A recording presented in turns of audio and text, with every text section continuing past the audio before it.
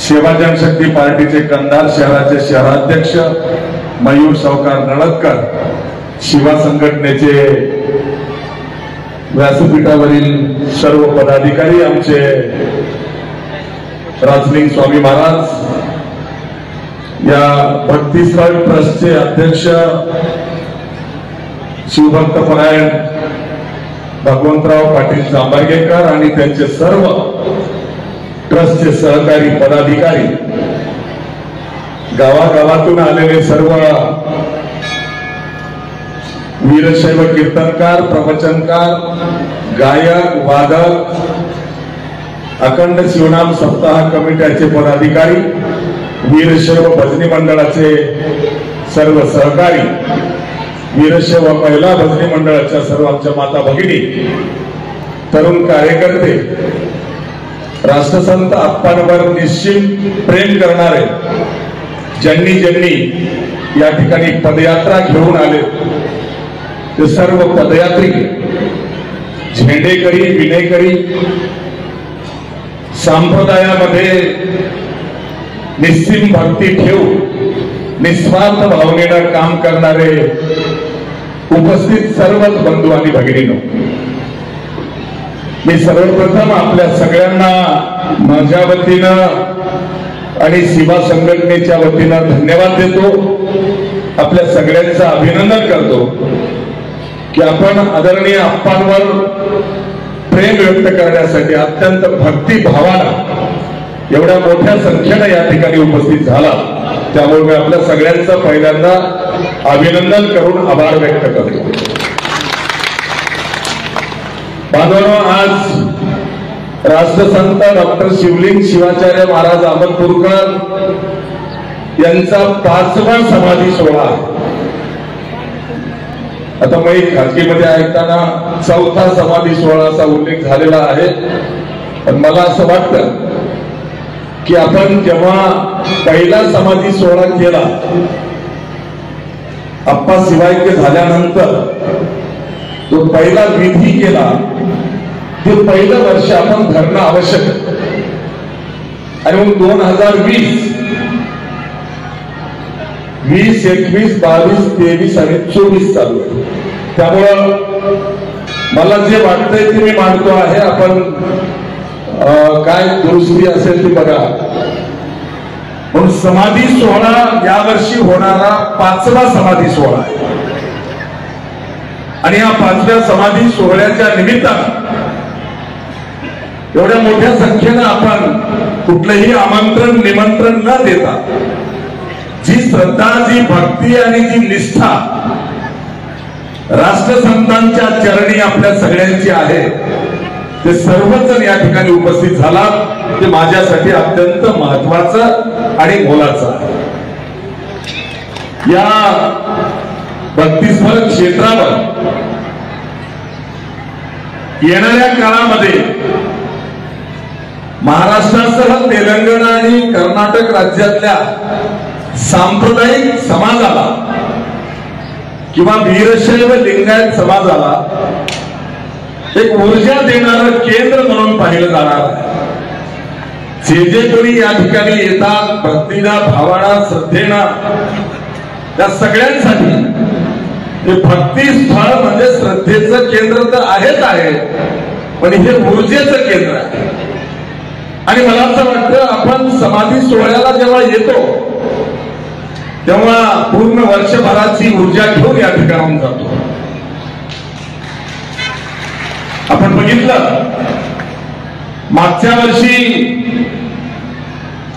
आपण ठरल्याप्रमाणे बोलल्याप्रमाणे आदरणीय राष्ट्रसंत डॉक्टर शिवलिंग शिवाचार्य महाराज अहमदपूरकर यांच्या समाधीवरची लिंग स्थापना केली.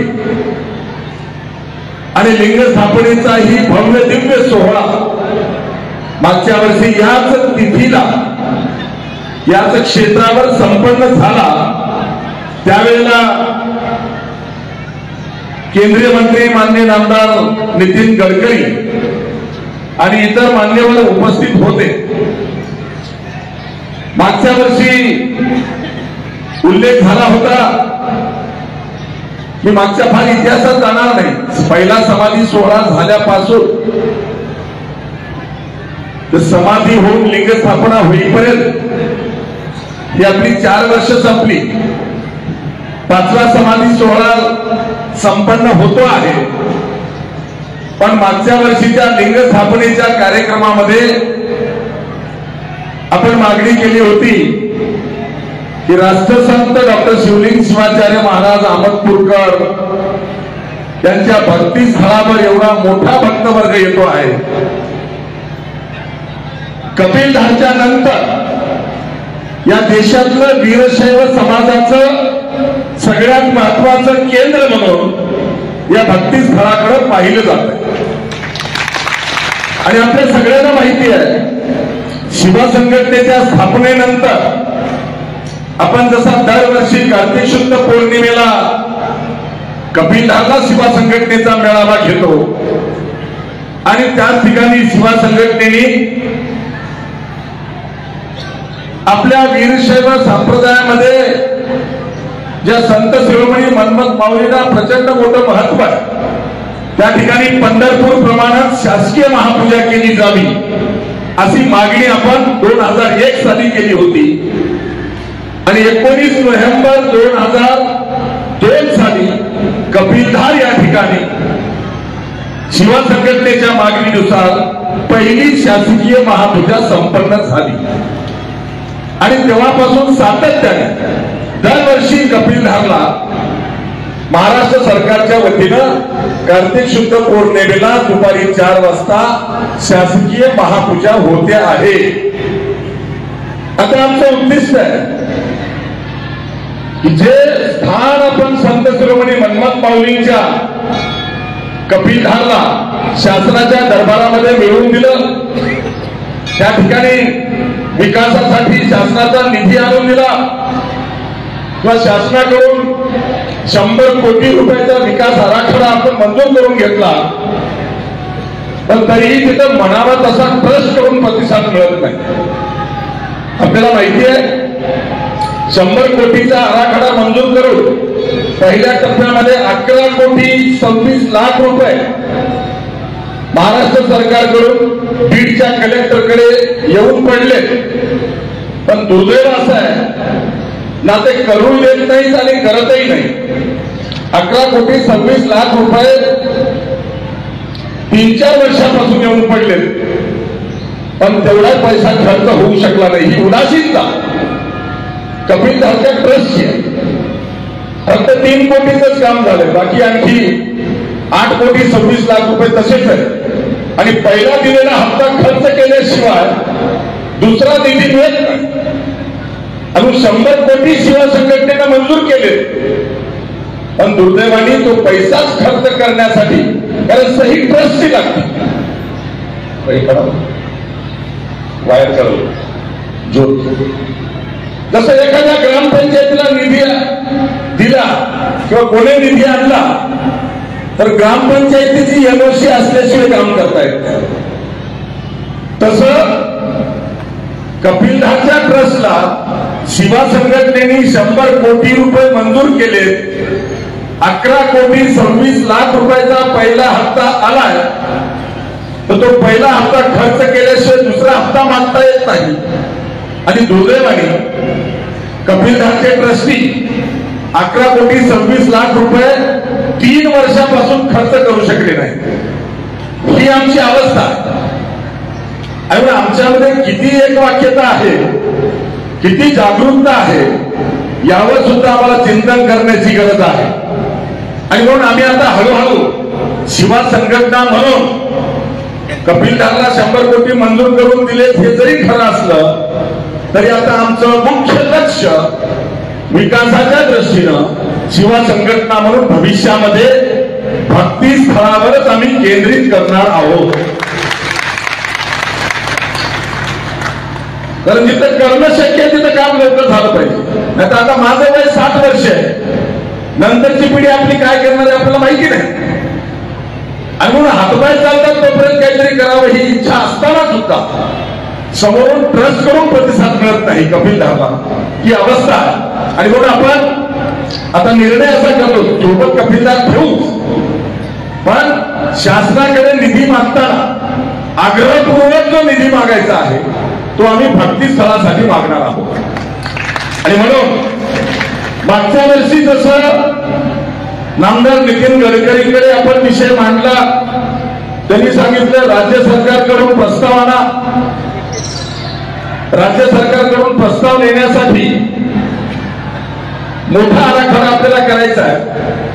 परंतु त्याच्या अगोदर आपण पुढाकार घेऊन आपले आदरणीय गुरुराज स्वामी असतील आणि खास करून इथले सगळे ट्रस्टी सुद्धा हे विकास कामावरती एक मतानं शिवा संघटनेच्या म्हणण्याला साथ देत आहे आणि म्हणून आपण महाराष्ट्र सरकारकडे भक्तीस्थळाच्या विकासासाठी पहिल्यांदा दहा कोटी मागितले होते ते तत्वता मंजूर केले होते. त्याच्यानंतर आपण गडकरी येऊन गेल्याच्यानंतर पंचवीस कोटीची मागणी केली. त्यालाही तत्वता मंजुरी दिली होती. आणि मग मागच्या एक पंधरा दिवसांपूर्वीच आपण या भक्तीस्थळाचा विकासासाठी पंचवीस कोटी रुपयाचा विकास आराखडा महाराष्ट्र सरकारकडे मागच्या आठवड्यात म्हणजे गणपती उत्सवाच्या अगोदर पोहोचलेला आहे. ती प्रक्रिया चालू आहे. मी आपल्याला विश्वासाने सांगतो पुढचा समाधी सोहळा होण्याच्या अगोदर शिवा संघटनेच्या आणि गुरुनाथ स्वामी आणि भक्तीस्थळाच्या ट्रस्टीच्या वतीनं आम्ही आपल्याला शब्द देतो आहोत की पुढच्या सहावा समाधी सोहळा होण्याच्या अगोदर महाराष्ट्र सरकारच्या पंचवीस कोटीला आपण मंजुरी घेतलेली त्याचं काम आम्ही या ठिकाणी सुरुवात करतो आहोत.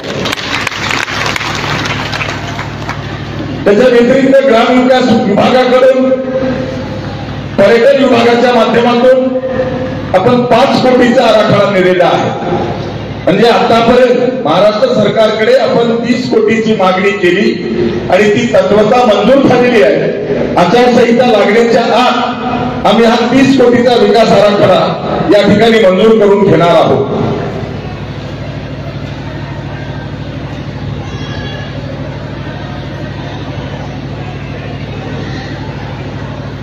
शिकता येतात काही बरोबर आहे तुमचं म्हणणं. भावना मी समजू शकतो.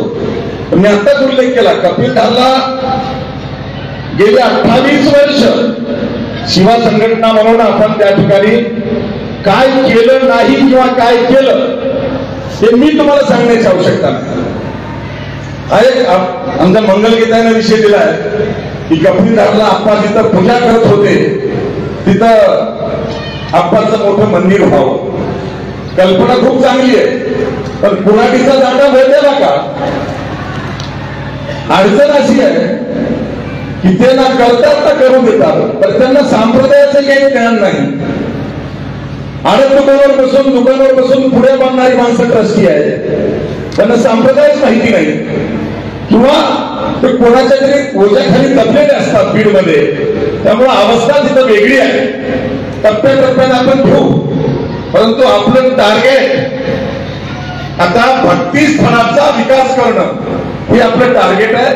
खरं तर पहिलं टार्गेट होतं जे गेचडं चिटकले होते भक्ती स्थळाला म्हणजे गाईला जसं दूध पियाला गेचडं चिटकतात तसे भक्ती स्थळाला स्वार्थाचे गेचडं चिटकले होते. ते काढण्यात पहिले दोन वर्ष गेले. तिसऱ्या वर्षी आपण आपाच्या विधीला सुरुवात केली आणि मागच्या वर्षी लिंग स्थापना केली. आता आपण मोकळे आहोत. आणि मग मोकळे झाल्याच्यानंतर पंचवीस कोटीचा वेगळा आराखडा आणि पाच कोटीचा वेगळा आराखडा असे तीस कोटीचे प्रस्ताव भक्तीस्थळाच्या विकासाचे आपण महाराष्ट्र सरकारकडे पोहोचवलेले आहेत. आणि आचारसंहिता होण्याच्या अगोदर हे तीस कोटीला तीस कोटी आपण मंजूर करून घेतो आहोत. आणि आचारसंहिता संपल्यावर सरकार तरी येऊ अरे मला काही फरक पडत नाही सरकारचं. कोणी? पक्षाचं सरकार आलं कोणी मुख्यमंत्री असला तर आमचा दाडू कायम असतो तीस वर्षापासून. त्यामुळं कोणी जरी सरकारमध्ये आलं तरीही पुढच्या वर्षीच्या भक्तीस्थळावर होणाऱ्या या समाधी सोहळ्याच्या अगोदर आपण तीस कोटीच्या कामाला विकास कामाला सुरुवात करणार आहोत. तुम्ही जागरूक आहात. माझ्या सहित व्यासपीठावरील सगळे जागरूक आहेत. आणि आमचा स्वाभिमान हा महत्त्वाचा आहे.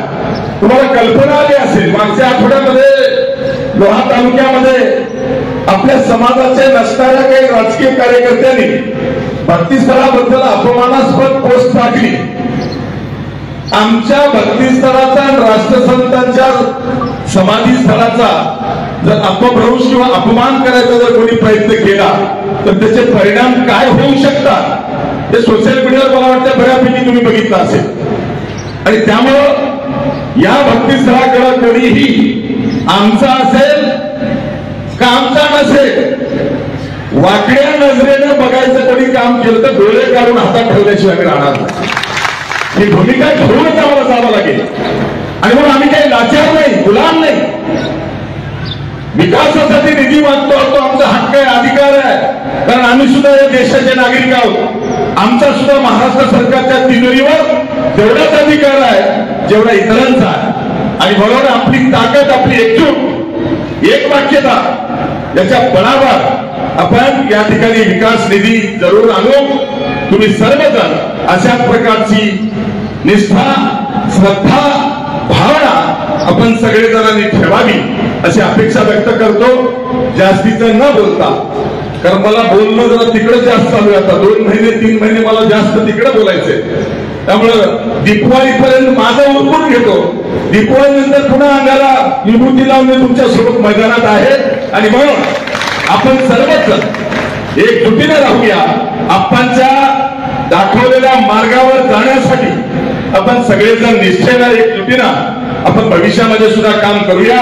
मग त्यामध्ये कीर्तनकार असतील प्रवचनकार असतील गायक वादक असतील किंबहुना आपल्या संप्रदायामध्ये गावागावामध्ये वीरशैव भजनी मंडळ आहे महिला भजनी मंडळ आहेत किंवा पदयात्री आहेत किंबहुना अखंड शिवनाम सप्ताह आयोजित करणारे पदाधिकारी आहेत.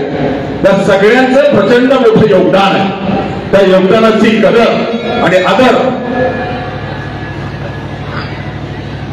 मी या ठिकाणी आपल्या सर्वांच्या समोर या ठिकाणी व्यक्त करतो आहे.